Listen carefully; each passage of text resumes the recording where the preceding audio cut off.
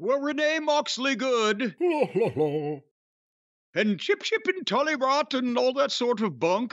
Tom Telly Yeah, whatever, Teletubbies, whatever the f- Anyway, she's in the back with Chris Jericho, and they got the the crowd audio pop when they saw him on the screen, and then they turned it down and muted it before anybody could do anything else in any other kind of reaction. So we still don't know how they're going to take him uh, this week or next week or whatever.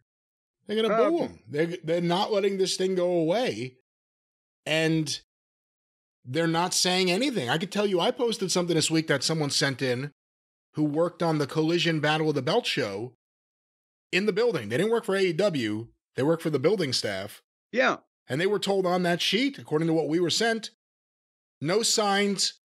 What, what was the exact phrasing? Nothing negative about Chris Jericho, Well, I yeah, whose name think they was- misspelled, by the way. Yeah, well, and somebody online was a see that's proof it's a forgery. They misspelled Jericho's name, you fucking nitwits. Remember when they misspelled the trademark application for their Saturday night collision show? Collision.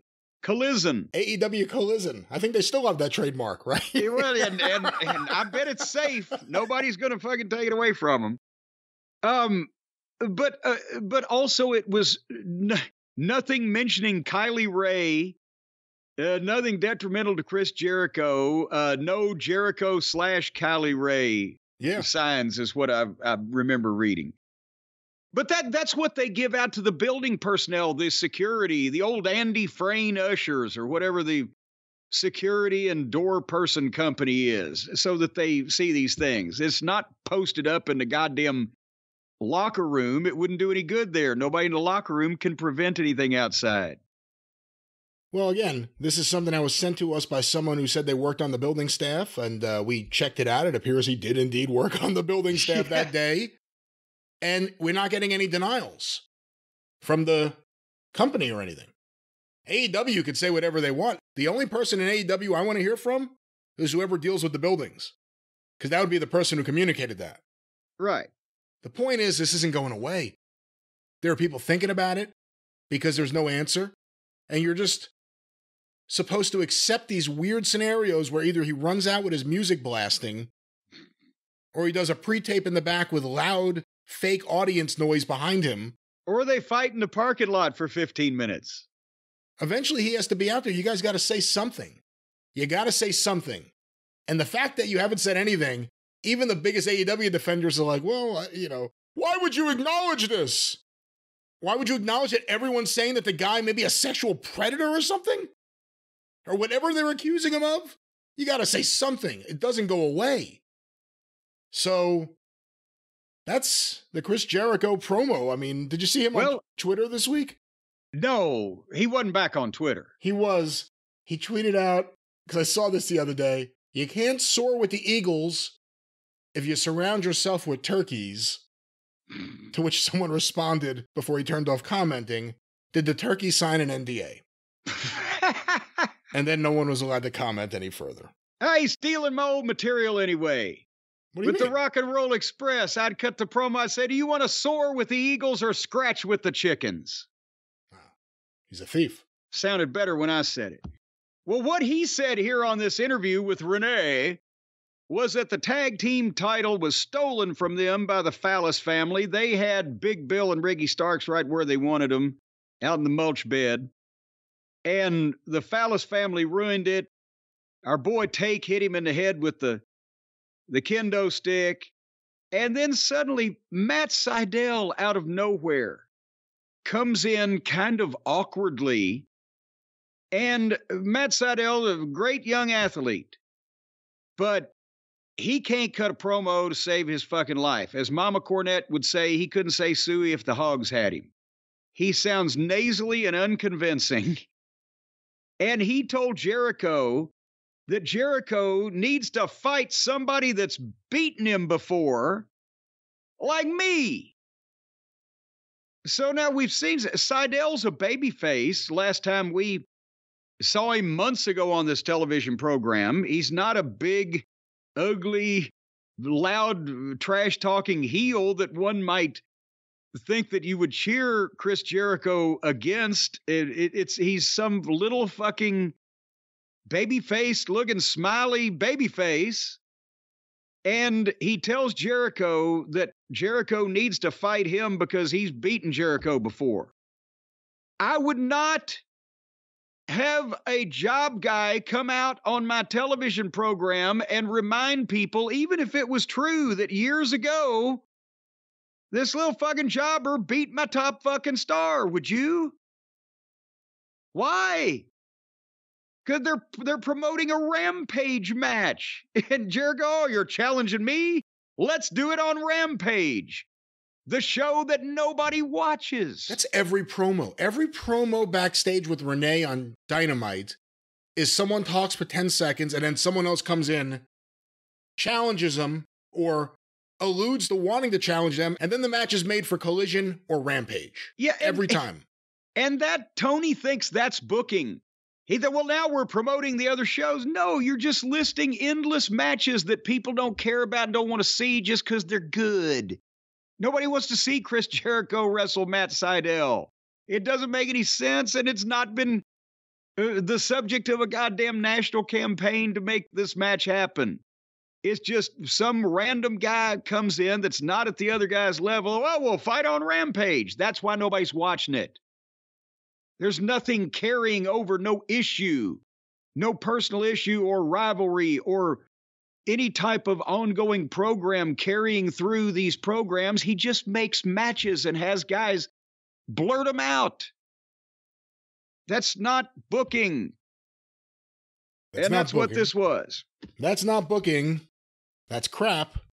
but we're not here to talk about crap or a box of crap. We're here to talk about a box of awesome. How's that for you know, a transition? That's exactly where you will get no crap in your box of awesome. No, the box will contain awesomeness, is all you're going to. And as a matter of fact, we got an even upgraded box of awesome this past month because remember the weekender bag that I told you about the fine weekender bag with the canvas lining and the the leather straps and buckles and everything that Stace was using as an art supply kit for her painting and art.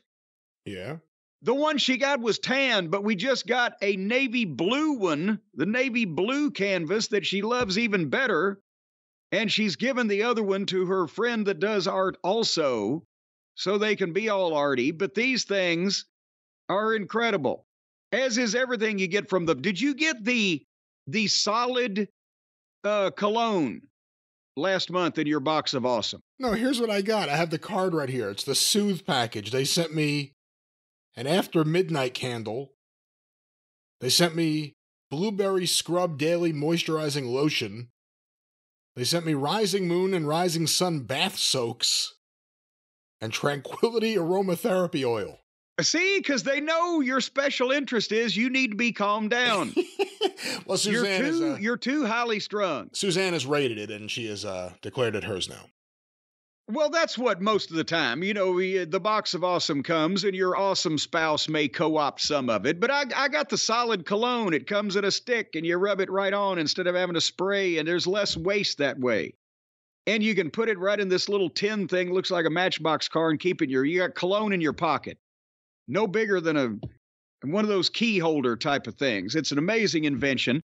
This is the kind of stuff you're going to get, folks in the boxes of awesome from boxofawesome.com from bespoke post that's what you do is you go to boxofawesome.com and you fill out a little quiz to tell these fine folks what your interests are and what kind of different things that you like and then they release new items every month across a ton of different categories and you will have access to stellar discounts across a plethora of products, 30% or more sometimes off on all this stuff than you would normally pay if you were just some mark walking the street. But you're in the you're in the family when you sign up with Box of Awesome and you're supporting small businesses because 90%, Brian, of everything that comes in your Box of Awesome is from, as we mentioned before, a small up and coming brand, a mom and pop shop, somebody trying to scratch by and make a living as best they can. And these box of awesome people come in and swoop and help them and- out and do a good job of making sure their fine product gets taken across the nation to many people, including the listeners of this show, Yes, they buy this stuff in bulk at a fraction of at a fair pay price to help mom and pop, and they bring it right to you. and then they're shipping it out to and you you're paying almost nothing for this stuff that people work their What fingers to the bone to create. It's a deal. Let's not think about the fingers. Let's think about the hard work and the satisfaction from a good day's work. Well, they're certainly not going to give you the finger over at Box of Awesome. If you sign up with them, they're going to give you their box. And I'll tell Of you what, awesome. Uh, tha- that's exactly right, and it's awesome. I'll tell you what, I've I've I've rated a lot of boxes in my time, and these are one of the most awesome boxes. You know, there was that one girl one time went into bed. I never did see her wrestle, but I did see her box. Behind the dumpster. But nevertheless, it's free to sign up at Box of Awesome, and you can skip a month or cancel any time. But then if you if you skip a month, you'll never know what you would have gotten. And right now, here's something else different than what we've normally talked about. You can get a free mystery gift with your first monthly shipment. So, a, a free gift of some kind in addition to the box of awesome. So, it'll be extra awesome when you sign up at boxofawesome.com and enter the code JCE at your checkout. That's how you get the free mystery gift. It's not only a mystery, it's free. So, right now, uh, boxofawesome.com, the code is JCE for a free mystery gift along with your first monthly box of awesomosity. That's right. Box of awesome, not uh, osity, but what is that promo code? One more time, Jim. JCE, if they don't know it by now, I don't know how I can potentially drive it into their heads any further. That's right. If you don't know it by now, go listen to Harold Melvin and the Blue Notes. Yeah. But You're never, never gonna know me. Ooh.